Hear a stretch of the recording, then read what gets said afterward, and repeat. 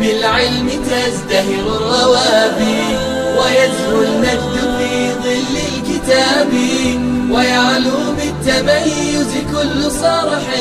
يعانق بالعلا هام السحاب يعانق بالعلا هام السحاب.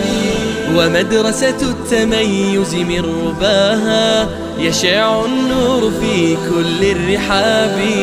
درجت على مقاعدها ربيعا. يراعي في يدي ومعي كتابي. ومدرسة التميز من رباها. يشع النور في كل الرحاب. درجت على مقاعدها ربيعا. يراعي في يدي بسم الله والحمد لله والصلاة والسلام على رسول الله. ربنا آتنا من لدنك رحمة وهيئ لنا من أمرنا رشدا. السلام عليكم ورحمة الله وبركاته يا شباب. كيف أحوالكم؟ آه معنا عشر دقائق إن شاء الله. الكل يركز في العشر دقائق هذه. آه نتحدث فيها عن أهمية الوقت. الثقافة الإسلامية الدرس الثامن أخطط لوقتي. هذا الدرس هو للصف السابع. ما هو يا شباب عنوان الدرس؟ أخطط لوقتي هذا هو درس اليوم. ما هو أهمية الوقت وتعريف الوقت؟ الوقت هو رأس مال الإنسان الحقيقي الذي به يحيا ويعمل بنشاط متجدد وعزيمة ماضية لأنه أساس الحياة وعليه تقوم الحضارة. ما تعريف الوقت وما تخطيطه وبيان أهميته؟ الوقت هو الظرف الزمني احفظوه. ما هو تعريف الوقت؟ إذا قال لك عرف الوقت تقول الظرف الزمني الذي يؤدي فيه الإنسان نشاطه الذي يستفيد منه في حياته الدنيوية والأخروية. إذا هو الظرف الزمني يعني من الظهر إلى العصر هذا يسمى ظرف زمني. من العصر إلى المغرب ظرف زمني. من العشاء إلى الفجر الظرف الزمني الذي تؤدي فيه أعمالك.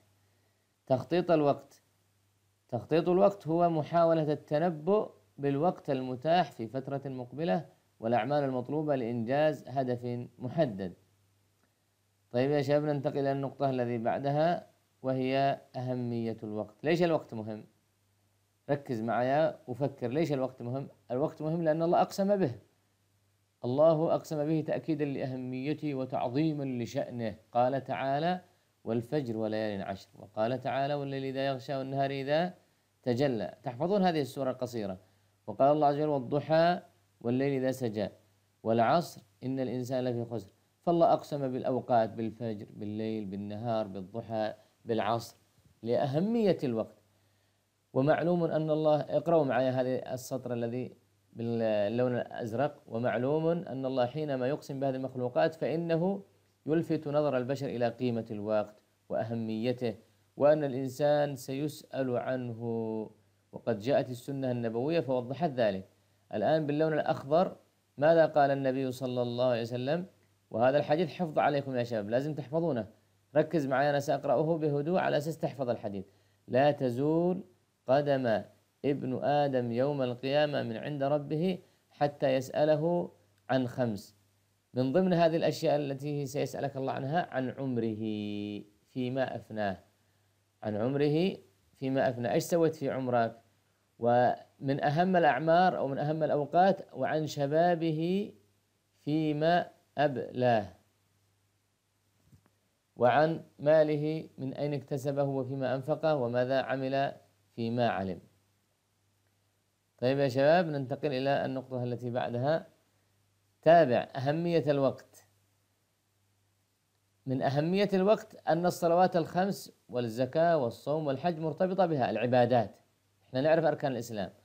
أركان الإسلام له أوقات الصلاة لها وقت الحج له وقت الصوم له وقت. يعني هل يصلح أن واحد يصوم رمضان في رجب ولا في شعبان؟ ما يصير. متى وقت الصوم؟ في رمضان. متى وقت الحج؟ أيام الحج في ذي الحجة. وابن مسعود رضي الله عنه وهو صحابي جليل صحب الرسول ماذا قال؟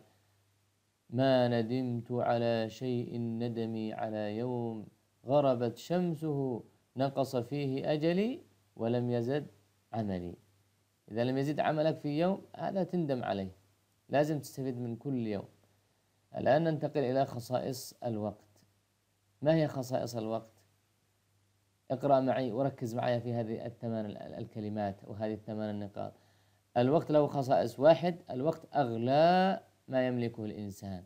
الوقت إذا ذهب لا يمكن أن يرجع. الوقت يمضي سريعا. استغلال الوقت يزيد من قيمته. لا يمكن تغيير الوقت أو تحويله. لا شيء يمكن عمله بدون الوقت. الوقت لا يمكن تخزينه. الوقت كالسيف. إن لم تقطعه قطعك. إذا لم تستغل وقتك سيذهب عليك. أبين أسباب التخطيط لوقتي. لماذا أنا أخطط لوقتي؟ ما هي الأسباب؟ ليش أنا أخطط لوقتي؟ أولا تحقيق الأهداف.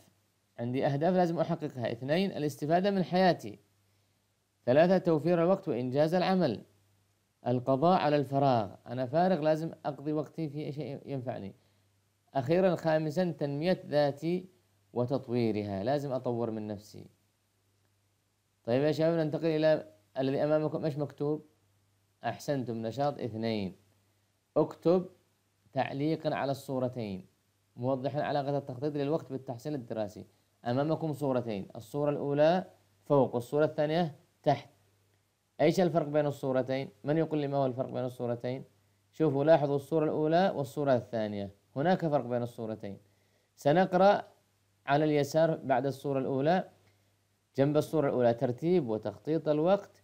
يجعل الإنسان ماذا يعمل؟ يحقق أهدافه ويطور من نفسه ويقضي على وقت فراغه وينمي قدراته. إذا الأول مرتب في حياته. الشخص الأول مرتب في حياته. شوفوا الصورة الثانية.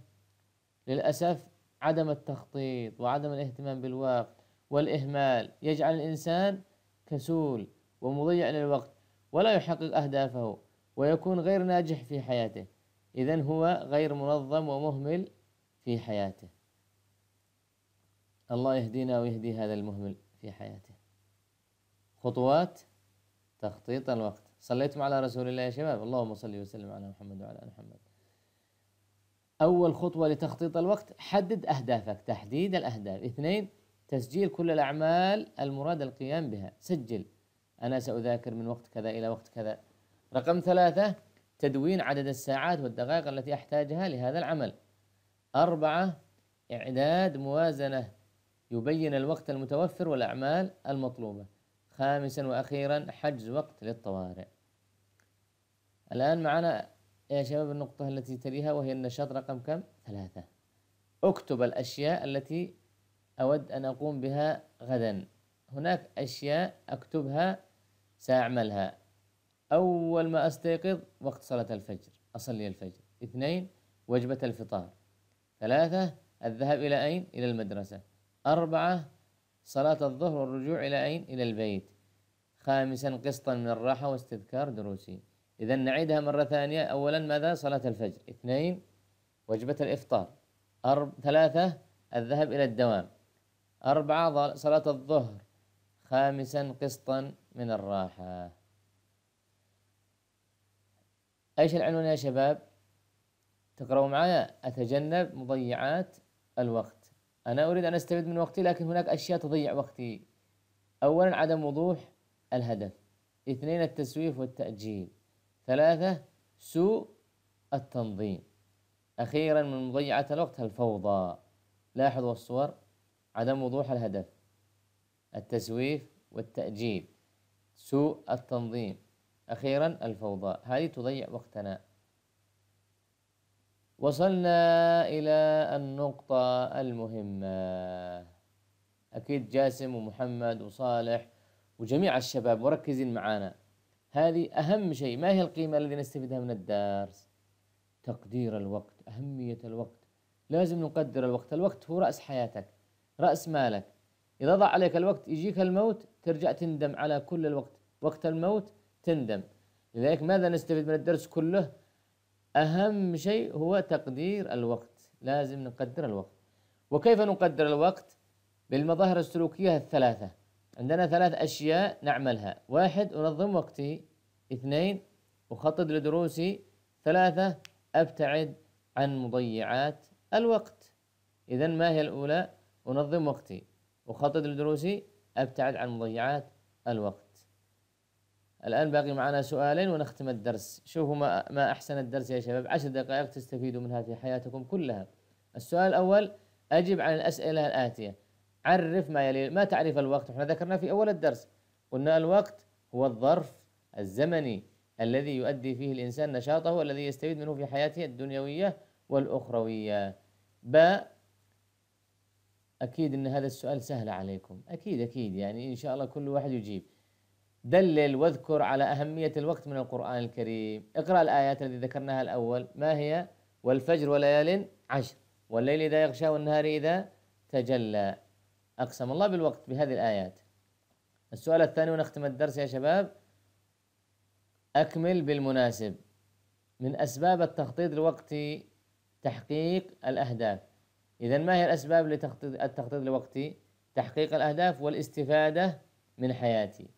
وتوفير الوقت وإنجاز العمل. والقضاء على ماذا؟ القضاء على الفراغ الذي أنتم فيه وتنمية ذاتي وتطويرها.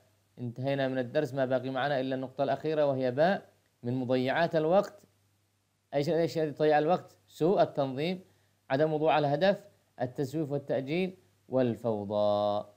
أحسنتم يا شباب تم بحمد الله وتوفيقه وصل اللهم على نبينا محمد وعلى آله وآخر دعوانا الحمد لله رب العالمين. thank you